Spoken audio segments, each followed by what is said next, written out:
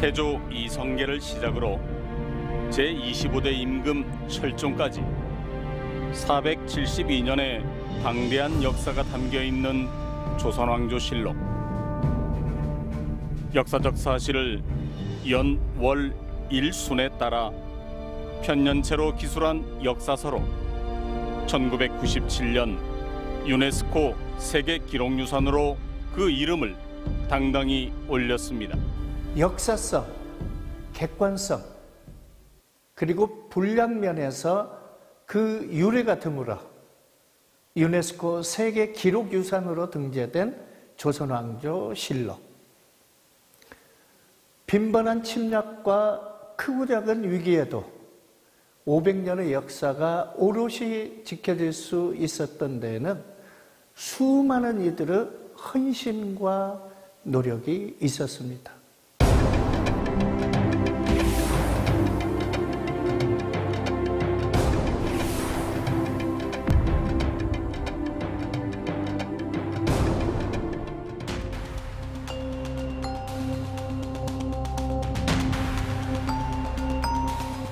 우리나라 최초의 민간 자치 규범인 구연동 향약이 시작된 남전마을. 이곳에는 사람들에게 잘 알려져 있지 않은 공간이 자리하고 있습니다.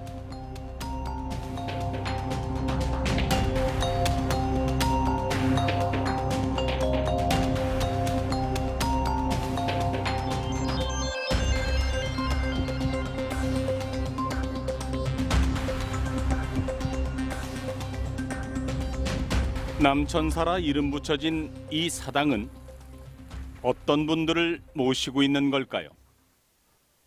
이 비에 그 단서가 남아 있습니다.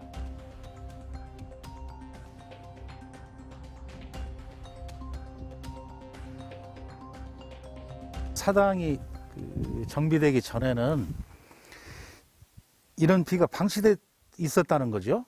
표면을 보면 이런 흠집이 많이 가 있죠. 이 흠집이 방치되어서 거의 묻히다시피 했던 것을 이게 이제 그 남천사 사당이 정비되면서 이걸 이 뒤뜰에 이렇게 다시 이 세워놓게 된 겁니다. 그러니까 비 자체로는 참 초라하죠. 사실 사당도 참 초라한 것이고 이분들이 했던 행적과 비교를 한다면은 여기 있는 비나 사당은 초라하기 이를 데 없는데 우리가 이런 현장에 와서는 이런 외형적인 것만 봐서는 안 되고 그런 역사적인 의미를 되새길 수 있어야 됩니다. 숙종 2년인 1676년 처음 세워진 남천사. 지난 2000년 도 지정 문화재가 되면서 새롭게 단장을 한 건데요. 이곳에는 임진왜란 당시 의병장으로 활약했던 원모당 김우진과 함께 물제 안희와 한기의 손옥록을 기리고 있는데요. 정읍의 선비였던 안희와 손옥록 이들이 세계 기록유산인 조선왕조실록을 지켜낸 주역이었던 겁니다.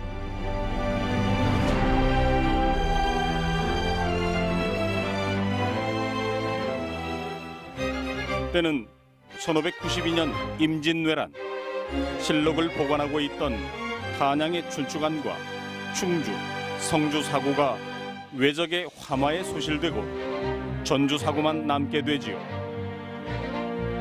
유일하게 남은 실록을 지키기 위해 정읍 내장 산행이 결정되는데 자신의 가소를 이끌고 이 일에 자원한 이들이 정읍의 안희와 손옥록이었습니다.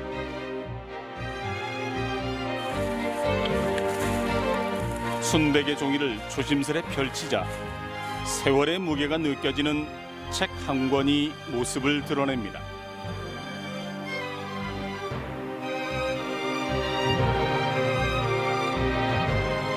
임기기사는 임진왜란 당시인 1592년 어, 임진년 5월 일본군이 전라도 지역으로 들어오려는 계획을 세우게 됩니다. 어, 이에 전주에 있던 관원들은 경기전과 전주 사고에 보관돼 있던 태조 어진과 조상 실력을 피난 대책을 세우게 되는데 6월에 그 정읍 내장산으로 이렇게 옮기게 됩니다. 그 이듬해인 1593년에 어, 내장산에 보관돼 있던 그런 어진과 실록이 다시금 그 일본군의 침략의 위협에 처해지는데 그 어진과 실록이 충남 아산을 거쳐 광화부까지 옮겨집니다. 이러한 과정이 상세히 기록되어 있는 게 이- 지금 보시는 임기기사입니다. 임기의 기사는 1592년인 임진년과 그 이듬해인 계사년의 기록을 뜻합니다. 맨 첫 장을 보시면 1592년 6월 22일에 어, 실록이 어, 전주부를 떠나서 정읍현 매장산 은봉암에 어, 이렇게 옮겨진 기록을 보실 수가 있습니다. 이때 참여한 인물로는 관찰사 겸 순찰사 이광, 도사 최철견, 삼례철방 윤길, 참봉, 오이길과 유인이 있겠고 옮겨진 실록과 어진을 지켰던 수직했던 인물로는 정읍의 선비인 손흥록과 안희가 기록되어 있습니다. 그런데 조선왕조 실록을 지키는데 왜 정읍의 선비 안희와 손옥록의 도움이 필요했을지 궁금해집니다. 선조 25년인 1592년 4월 13일 20만 대군을 이끌고 조선을 침략한 일본 부산을 시작으로 파상적인 공세를 이어가며 단 20일 만인 5월 3일 한양을 점령하고 선조는 개성과 평양을 거쳐 의주까지 피난을 가는 지경에 이르게 되지요. 조선 왕조의 본향인 전주에는 태조 이성계의 어진을 봉안한 경기전이 있었습니다. 이를 전담하던 참봉이 바로 오이길인데요. 여러분도 한 번쯤은 들어본 적이 있을 겁니다. 그리고 경기전 동편에는 세종의 명으로 추가로 설치된 실록각이 있었는데요. 이곳에 있던 실록이 지켜졌기에 조선 전기의 역사가 전해져 내려올 수 있었던 거지요. 다른 지역하고 달리 전주는 실록뿐만이 아니고 어, 태조 이성계의 어진이 있었기 때문에 이 어진과 실록을 일본의 침략으로부터 어떻게 지켜낼 것인가라고 하는 것이 가장 중요한 과제였던 것 같습니다. 그래서 당시 전라감사였던 이광이라고 하는 전라관찰사가 아, 소집을 하게 되죠. 그 소집에는 당연히 뭐 경기전 참봉이었던 오희길과 유인을 포함해서 당시 전주부 판관이었던 권수라든지 뭐 삼례 찰방이라든지 일단 관계인들을 불러서 대책을 논의하게 됩니다. 조선 왕조의 역사를 지켜내기 위한 마지막 보루였던 전주. 우이길이 선조에게 올린 보고 내용을 살펴보면 처음 나온 대책은 실록각 아래 땅을 파고 묻는 것이었습니다. 그런데 땅까지 파놓았다가 뜻밖의 상황에 처하게 되지요. 대책을 논의하는 과정 속에 일반적으로 성주 사고의 에, 사례가 있었는데요. 성주 사고 같은 경우에는 땅에 묻습니다.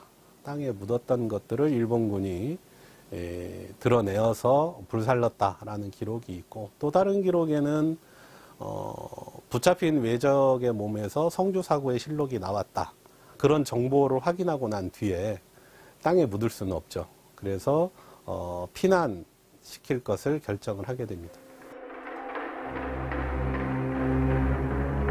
경기 전 참봉인 오이길과 유인이 직접 장소를 물색하는데 길이 이어졌다 끊어졌다를 반복하며 험존하기가 이를 데 없는 정읍의 내장산을 주목하게 되지요.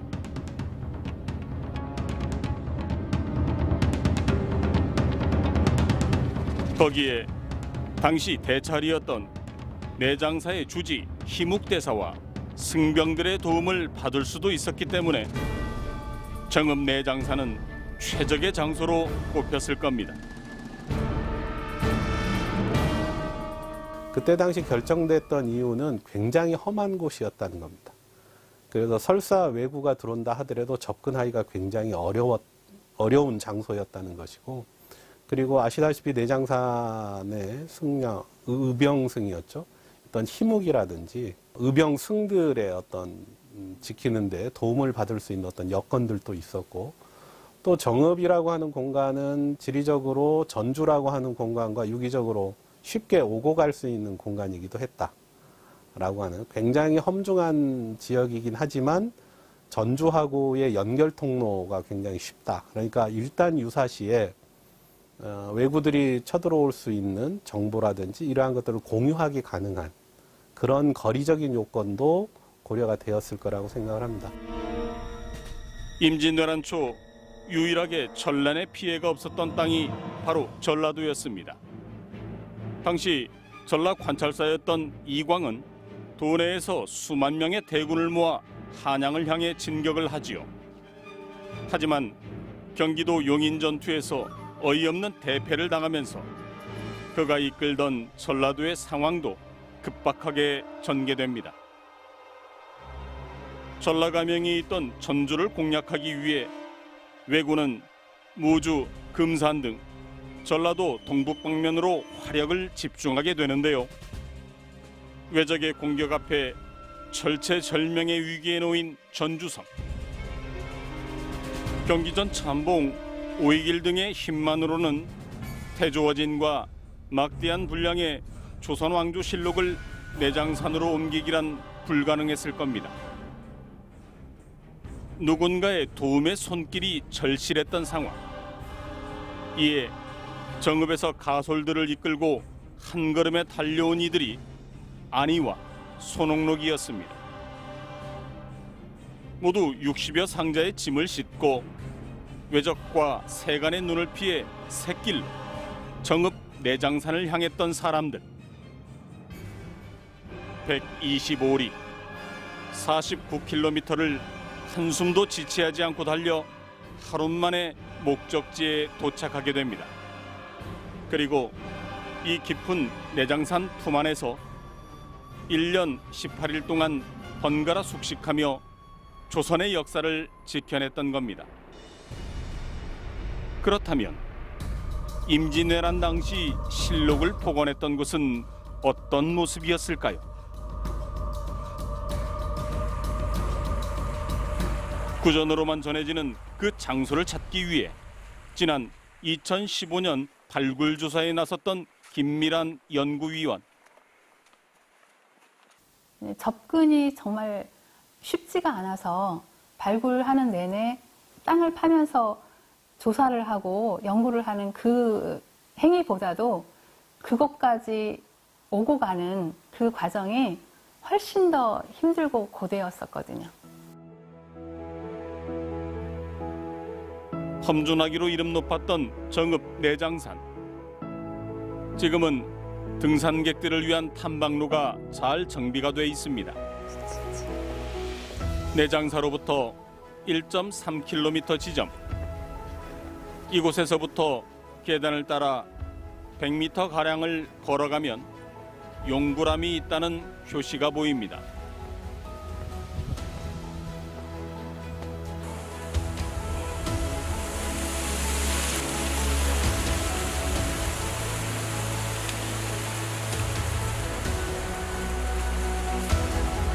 이곳이 저희가 발굴한 용굴암지가 되겠습니다. 음, 보시다시피 이쪽엔 용굴이 있고 용굴 옆에 이렇게 그 암자가 있었던 그 터가 되겠는데요. 이 터의 규모는 음, 발굴 당시에 초석이나 적심이 확인이 안 됐기 때문에 정면 몇 칸, 측면 몇 칸, 뭐 이런 식으로 말씀드릴 수가 없고 그냥 확인되었던 기단을 기준으로 말씀을 드리자면 이 장축의 기단 길이는 한 620cm 정도, 그리고 단축의 그 길이가 한 400여 cm 정도 어, 여서 최대치를 잡더라도 건물의 평수는 한 요즘 평으로 8평 정도가 되지 않았을까 이렇게 어, 추정을 하고 있습니다. 말 그대로 깎아지는 듯한 벼랑 끝에 당시 내장사에 딸린 암자 가운데 하나였던 용구람이 있었던 겁니다.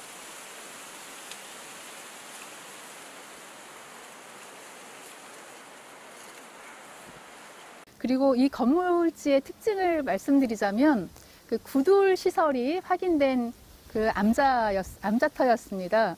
그 구둘의 이 형태는 일자형이었는데 다섯 줄이 확인이 됐고요. 그 한 줄의 이 규모는 길이가 한 400여 센티미터 정도, 그리고 폭이 30에서 한 50cm 정도. 그래서 촘촘한 구들이 이렇게 시설되었던 어, 매우 인상적인 그런 그 건물지였습니다.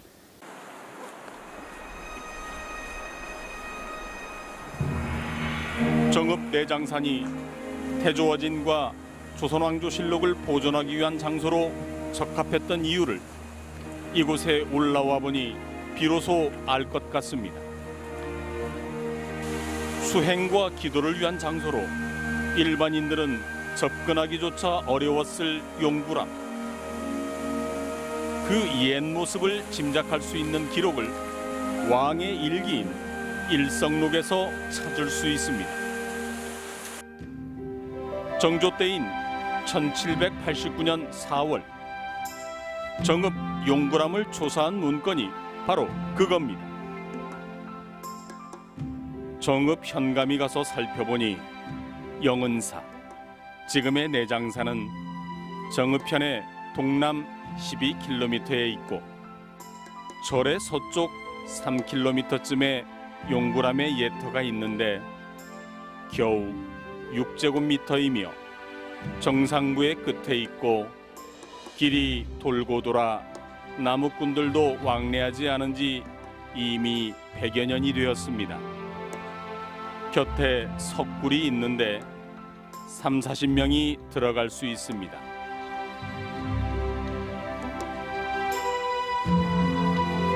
암자는 사라졌지만 바로 옆에 있었다는 석굴은 여전히 자리를 지키고 있습니다.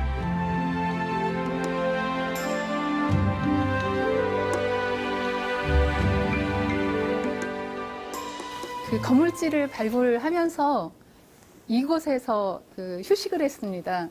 이제 새참도 여기서 먹고 점심도 여기서 도시락으로 이렇게 해결을 그 한 공간입니다. 꽤 넓은 이 동굴은 한동안 조선왕조실록 보관터로 알려지기도 했었는데요. 그럴 가능성은 없는 걸까요? 저희가 어, 조사한 바로는 적절치 않았던 공간이지 않았을까 이렇게 생각을 하고 있습니다. 왜냐하면 동굴이라고 하는 특성상 매우 습하거든요. 예, 그 습한 곳이다 보니까 지금도 이렇게 이제 물기가 계속 어, 촉촉하게 그 배어 나오는 이제 그런 것을 볼 수가 있는데 그런 곳에 지류를 보관한다는 거는 그래서 습도 조절이 용이했던 그런 그 암자의 어, 실록을 보관하지 않았을까 이렇게 생각하고 있습니다. 계절이 네 번을 바뀌는 동안 이 깊은 산 속에서 경계를 서며 실록을 지켰던 정읍 사람들. 용구람까지 가는 길은 계단이 잘 설치돼 있기는 하지만 한 걸음 한 걸음 내딛기에는 용기가 필요합니다. 이곳을 오가며 무려 370일 동안 번갈아 가거나 혹은 함께 조선의 역사를 지켜냈던 정읍의 선비 안희와 손옥록 내장산에서 수직을 시작할 당시 안희는 환갑을 넘긴 64 손옥록은 56의 나이였습니다. 수직 책임자 격이었던 참봉 오이길은 37이었죠. 기록에 따르면 이들은 용구람보다 더 안전한 곳을 찾아 실록을 보관하게 되는데요.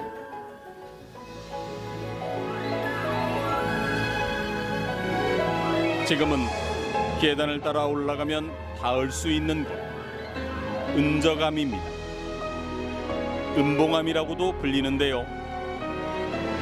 탐방로가 생기기 전에는 길을 돌아 암벽 등반을 하듯 올라가야 했던 곳입니다.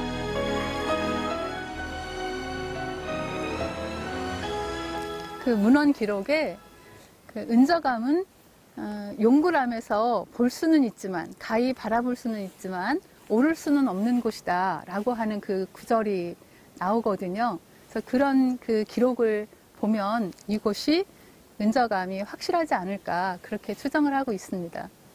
그래서 여기서 보시면 하늘밖에 안 보이시잖아요. 예, 주변이 다 이렇게 봉우리, 그 산으로 첩첩이 둘러싸여 있고 하늘만 이렇게 뚫려 있는 이제 그런 그 곳이다 보니까 숨을 은자를 써서 은저감 또는 은봉암이라고 그 했던 것 같습니다. 그래서 이쪽에서 보시면 음, 예전에 저희가 다녔던 그 길이 저렇게 그 계곡처럼 보여지는 저, 저 곳이 되겠습니다. 저 계곡을 따라, 따라서 거의 기어 오다시피 하면 이곳에 다다를 수가 어, 있었던 거죠. 그래서 그 발굴하는 그 행위보다도 발굴을 하기 위해서 이곳까지 접근했던 그 과정이 정말 험난했던, 몹시도 힘들었던 어, 그런 공간이 되겠습니다.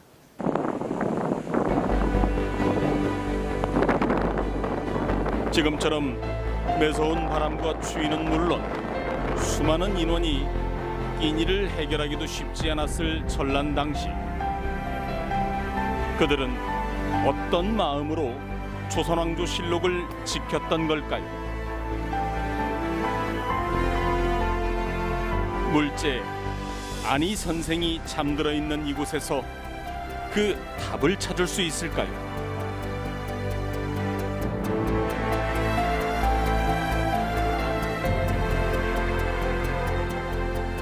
임진왜란 당시 64시라는 나이에도 불구하고 험준한 산을 오르내리며 조선의 역사를 지켜냈던 그 힘의 원천이 궁금해집니다.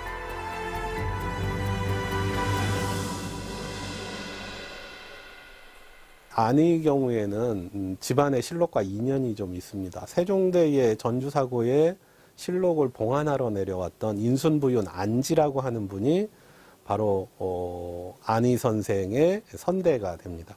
그러니까 안희 선생은 그 안지 선생의 현손이 됩니다.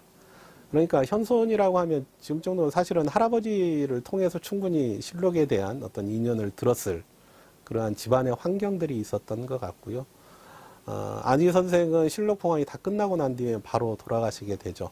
그것은 여생의 마지막을 실록을 지키는데 조선의 역사를 지키는 데에 다 바쳤다라고 해도 과언이 아닙니다.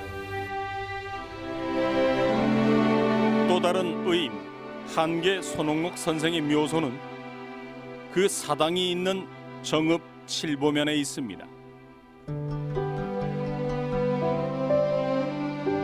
정읍 내장산에서 실록을 지켜내고 이곳마저도 위험에 처하자 실록을 호종하며 선조가 있는 의주까지 함께 하는데요.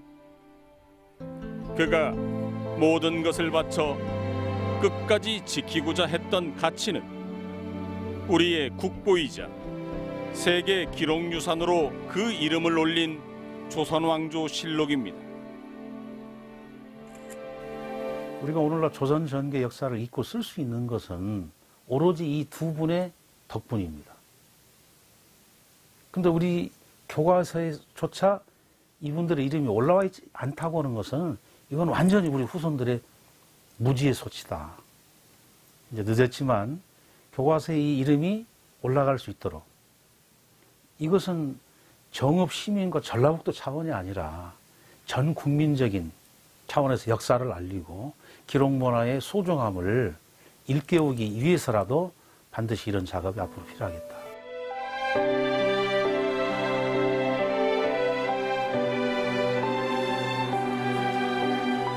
내장산 국립공원 안쪽 길을 따라 올라가면 오른쪽에 자리한 기념비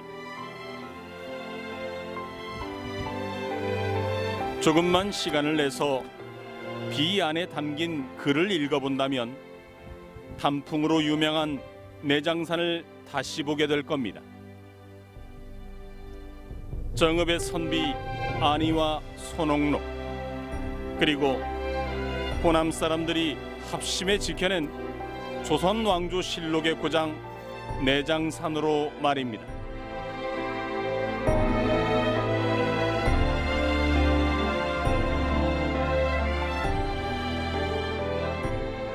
자신과 가족의 안위보다 조선왕조 실록을 지키는데 모든 것을 바친 정읍의 선비 안위와 손옥록 그리고 이들과 뜻을 함께한 또 다른 많은 이들이 있었기에 우리의 자랑스러운 기록문화유산이 전해질 수 있었던 겁니다. 사실은 우리가 임진왜란을 기억할 때 의병장 중심으로 전투에서 승리한 장군, 전투에서 승리한 전투만을 기억하는 이러한 역사인식에서 좀 벗어날 필요가 있다. 예를 들어서 우리가 이야기하는 임진왜란의 3대 대첩도 중요하지만 조선의 역사를 지켰던 안우와 손옥록의 그 공이라고 하는 것이 과연 어, 전투의 승리보다도 부족할까? 전혀 부족하지 않습니다. 그런데 에, 우리는 그 두 사람의 공 또는 실록을 지켜냈던 전라도 선비들의 의미 또는 중요성을 가르치지 않고 있다는 것. 그래서 이러한 부분들도 이제는 조금 더 새롭게 인식되어야 된다.